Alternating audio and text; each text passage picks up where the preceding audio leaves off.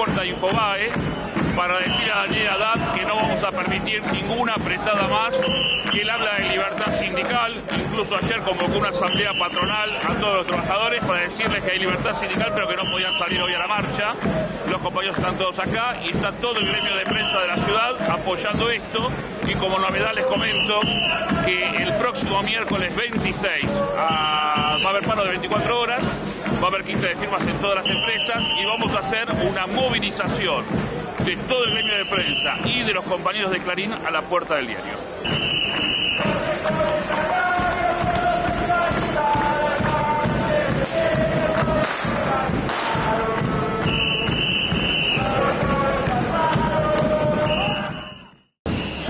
Particularmente viene desde hace mucho tiempo. Nosotros tratamos de sindicalizarnos desde hace aproximadamente cuatro años y hemos eh, recibido presiones de todo tipo, eh, bueno, que incluye desde ya despido de compañeros.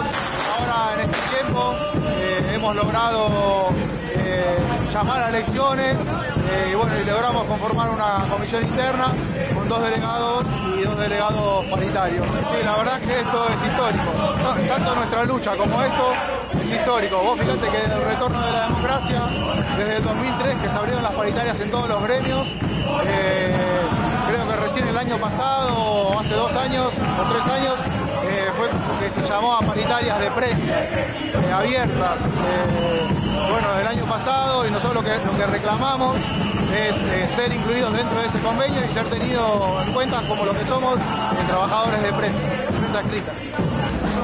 Que el gremio de prensa esté luchando unido, las agencias, los diarios, las revistas, los sitios de internet, todos los trabajadores, más allá de las distintas patronales donde, donde trabajamos, estamos participando en una misma medida de lucha. Es una lucha que ya lleva dos meses, todavía no tenemos respuesta por parte de las patronales. Estamos confiados en que con la lucha y con la participación de todos los compañeros vamos a alcanzar un resultado en nuestros salarios. Hasta ahora hay ofertas miserables, pero lo que se está dando es un proceso histórico en el sentido de que los compañeros trabajadores de prensa estamos teniendo orgullo de ser trabajadores, estamos realmente sintiendo algo muy lindo que es la unidad todas las reacciones. Siempre peleábamos cada uno por su cuenta, eh, a veces nos juntábamos para luchar contra despidos o por ahí contra el vaciamiento, como fue el caso del vaciamiento que hicieron Jorge Lanata y Mata en, el diario Crítica de la Argentina. Pero hoy estamos todos juntos luchando por lo mismo, que son salarios dignos. Y me parece que es muy importante porque hasta hace muchísimos años que no, que no se producía algo de esta magnitud y hoy estamos acá frente a, a la patronal de Infobae, a un empresario tan poderoso como Daniel Haddad, que no puede pisotear los derechos de los trabajadores, que no pueden amenazar a, los trabajadores que se organizan sindicalmente, porque se va a encontrar con una respuesta, que es la respuesta de la movilización, y es este escrache que le estamos haciendo a Daniel Haddad, a De Luca, que es su jefe de personal, agarran a los compañeros uno por uno, les sugieren que no participen sindicalmente, distintos métodos de control. Hay presiones y amenazas en la nación, en Clarín, en ámbito financiero, financiero en fin, las patronales están nerviosas porque ven que, no aflojamos, que tenemos una convicción que lo que reclamamos es justo, que, hace muchos años que no nos juntábamos y como dice la canción, ahora ya no nos paran así, así nomás, porque nos dimos cuenta que unidos somos más fuertes. Soy Héctor Torres, delegado de ámbito financiero y la verdad que el clima que hoy se vive es histórico después de aquel 7 de junio en el que fuimos al primer paro general después de mucho tiempo en prensa. Hoy estamos acá en la puerta de Infobae como colación, también después durante la semana lo que han hecho los compañeros en Clarín parando una hora. Creo que son cuestiones que se van dando en las redacciones que de a poco se van incorporando paulatinamente, algunas más rápido, otras más despacio, a este gran movimiento por la pelea, por las paritarias de prensa vamos por el 35% de aumento, vamos por el 7 mil pesos de básico y rechazamos obviamente todos este 24% miserable que nos ofrecen los patronales y que hoy nos tienen acá todos movilizados para tratar de revertir esta situación que nos quieren plantear y no se quieren mover. Respecto bueno, a la unidad, está claro que haber ido todos juntos, a diferencia del año pasado, en la prensa escrita, tanto los .com como las agencias de noticias, como los diarios, como las revistas, sin duda ha derivado en esta gran unión y esta gran movilización que tenemos, que si no hubiera sido de esta forma quizás hubiera sido muy difícil lograrlo. Es muy palpable el hecho de que estemos todos juntos y poder mover a toda esta cantidad de gente como nunca antes el prensa se ha movido.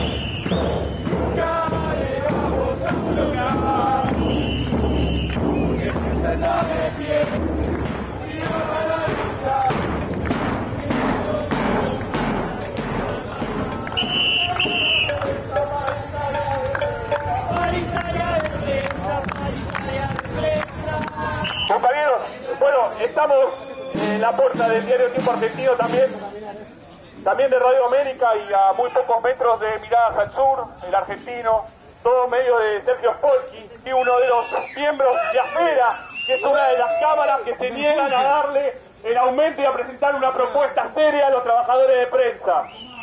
Es muy simbólico, compañeros, y como desde la Comisión Interna agradecemos que estén acá, es muy simbólico porque hemos estado hoy en la puerta de, de, de Infobae, de un medio de Daniel Haddad, hemos estado en, la puerta del grupo de revistas de la Nación, eh, de los Aguier, y ahora estamos en la puerta de un medio de Sergio Spolky, lo que quiere decir que los patrones con sus diferencias en sus medios no tienen diferencias a la hora de enfrentarse a los trabajadores.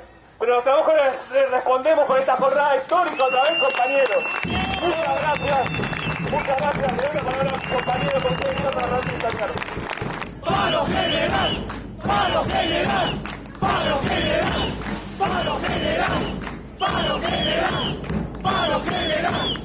¡Paro general! Compañeros, esto que estamos cantando en este momento es lo que va a suceder justamente la semana que viene. Es la orientación de todo este gremio que se ha puesto de pie y que en distintas asambleas, en 14, 15, 16 lugares ha votado ir al paro general la semana que viene. Esta jornada tiene que ser la preparación para lo que se viene. Lo que se viene es una nueva jornada, 24 horas de paro, con movilización, porque siguen las patronales, como bien decía Alejandro, aquellas que están, que se oponen, que se enfrentan, que están peleadísimas en términos políticos, hay algo supremo que las une. Y es la idea de que los trabajadores de prensa deben seguir precarizados, la idea de que los trabajadores de prensa deben seguir ganando un salario en miseria. En eso están de acuerdo todas. Por eso, para este miércoles, jueves, es una fecha que se está determinando en este momento, vamos al paro general de 24 horas, trabajadores de prensa. ¡Vamos!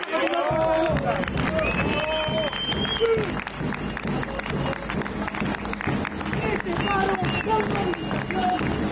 seguramente una nueva jornada histórica porque todos los trabajadores de prensa escrita nos movilizaremos a la puerta del diario Karim, el gran diario argentino que hoy es el gran responsable de que esta esté como esté, de los años de miseria y de precarización, compañeros. Muchas gracias a todos. Una jornada